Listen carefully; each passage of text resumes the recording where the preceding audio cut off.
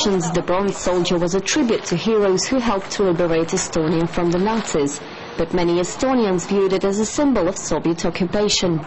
After the monument was moved, clashes broke out between the Russian community and police in Tallinn. 20-year-old Russian Dmitry Ganin was stabbed to death and more than 200 protesters were arrested. Four of them have been charged with organizing violent riots. The Estonian authorities say damage from the unrest amounts to some 700 million US dollars. The material losses from the riots may have been established, but the identity of those who killed the young man has not.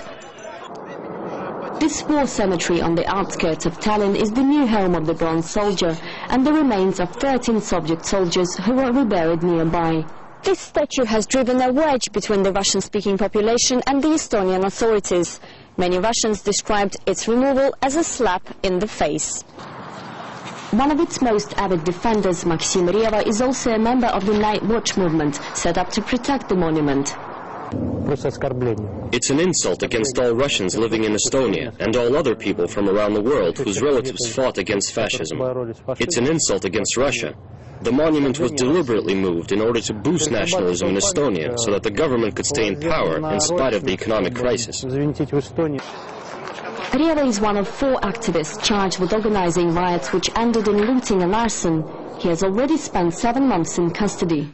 His lawyer says the charges against him are unfounded.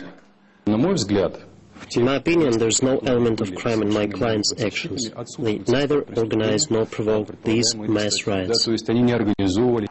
While some in Estonia say the country's frosty relations with Russia cannot get any worse, many are concerned that this case could provoke a new wave of hostility.